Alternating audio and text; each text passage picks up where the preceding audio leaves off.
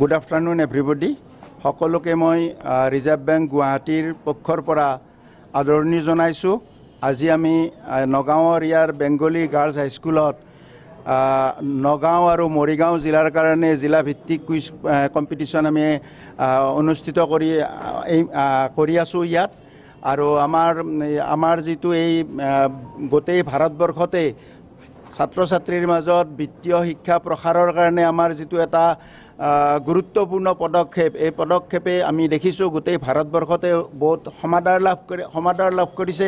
গতিকে আমিও অলপ উৎসাহিত হৈছোঁ। এই ৰাইজৰ মানে বিপুল সঁহাৰি দেখি ছাত্ৰ ছাত্ৰীৰ বিপুল সঁহাৰি দেখি আমি বহুত উৎসাহিত হৈছোঁ আৰু ভাবিছোঁ যে আমি এই ধৰণে যদি আগবঢ়াই নিব পাৰোঁ আমাৰ জনসাধাৰণক আমাৰ ছাত্ৰ ছাত্ৰীসকলক নিশ্চয় আমি আমাৰ যিসকল দেশৰ শত্ৰু আছে আমাৰ অৰ্থনীতিৰ ওপৰত আক্ৰমণ কৰা যি ফ্ৰডষ্টাৰ আছে দেশৰ ইকনমিৰ অনিষ্ট সাধন কৰা এইসকলৰ বিৰুদ্ধে আমি নিশ্চয় আমাৰ অভিযান সফল হ'ব। আৰু মানে সকলোকে মই সেইকাৰণে আমাৰ এই অভিযানত সকলোকে মানে অংশীদাৰ হ'বলৈ মই আহ্বান জনাইছোঁ।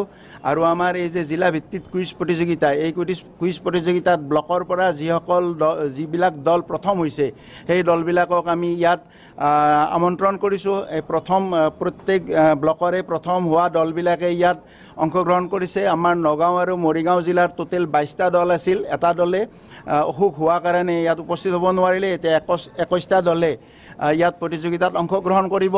অৱশ্যে প্ৰাইজটো জিলা ভিত্তিত বেলেগ বেলেগ হ'ব। আমি ইয়াত প্ৰথম যিসকলে প্ৰথম হ'ব আজিৰ প্ৰতিযোগিতাত তাৰ কাৰণে আমি সাত হাজাৰ টকাৰ পুৰস্কাৰ দ্বিতীয় প্ৰতিযোগীৰ কাৰণে দুই হাজাৰ চৰি পাঁচ হাজাৰ আৰু তৃতীয়ৰ কাৰণে আমি তিনি হাজাৰ টকাৰ পুৰস্কাৰ ৰাখিছোঁ। আৰু এটা কথা মই ক'ব বিচাৰিছোঁ সেইটো হ'ল কি যে আমাৰ যেতিয়া জিলা পৰ্যায়ৰ আমাৰ শেষ হৈ যাব জিলা পৰ্যায়ৰ প্ৰতিযোগিতা অন্ত হোৱাৰ শেষত আমি ছাব্বিছ জুলাই তাৰিখে গুৱাহাটীৰ প্ৰাগজ্যোতিকাত আমাৰ অসম ভিত্তিত যিটো ৰাজ্যিক ভিত্তিত প্ৰতিযোগী প্ৰতিযোগিতা হ'ব এই প্ৰতিযোগিতা আমি অনুষ্ঠিত কৰিম আৰু এই প্ৰতিযোগিতাত প্ৰত্যেক জিলাৰ পৰা যিসকলে প্ৰথম স্থান অধিকাৰ কৰে এইসকলক আমি আহ্বান জনাম আৰু তেওঁলোকে তাত অংশগ্ৰহণ কৰিব। আৰু ষ্টেটত যিবিলাকে প্ৰথম হ'ব ষ্টেট ৱাইজ আমি সেইবিলাকৰ জোনেল আছে আমাৰ জোনেল বেচিছত পাঁচটা জোনত ভাগ কৰিছে ভাৰতবৰ্ষক।